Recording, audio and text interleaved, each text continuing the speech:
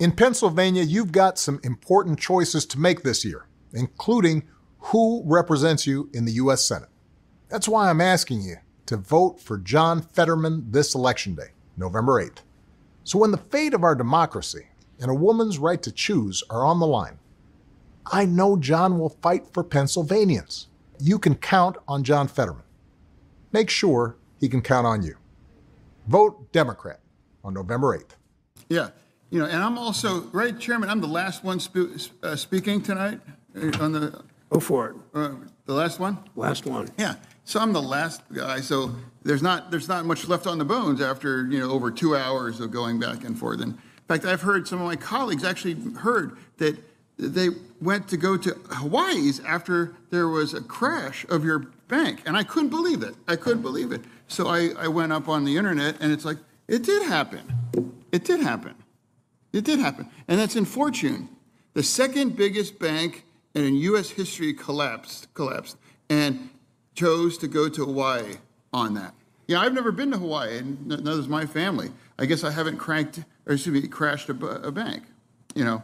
So given that this is, I'm the last person, I don't have much left to ask, but I will, you know, let me ask you this one particular question uh, to, to put to, to everyone here on that. And it is, it's is an inside, is it an inside joke?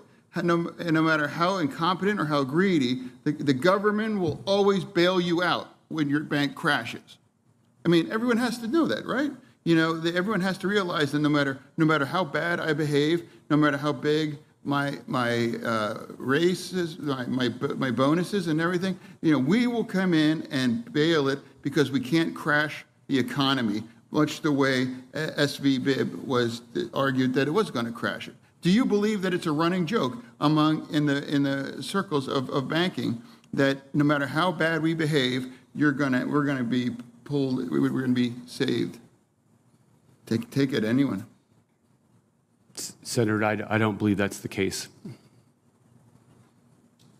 You really like every because every bank you seemingly that, that crashed. It's like hey, we, we could bail him out. Yeah, this one you know you know crashed. We'll we'll we'll bail them out. So far, everything's been true. So doesn't it feel that uh, now, if a bank really believed that they wouldn't be bailed out, now after bailing them out, these couple of ba- bailouts, they are going to. Do you believe that that is not outrageous? That no matter how how deplorable your performance is, you are made as whole, and all by by, by test test pa- papers. So what do you what do you believe?